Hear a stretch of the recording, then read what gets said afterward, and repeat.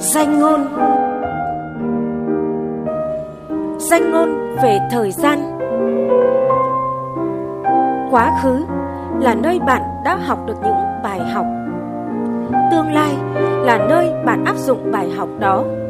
Vì thế, đừng bỏ cuộc giữa chừng.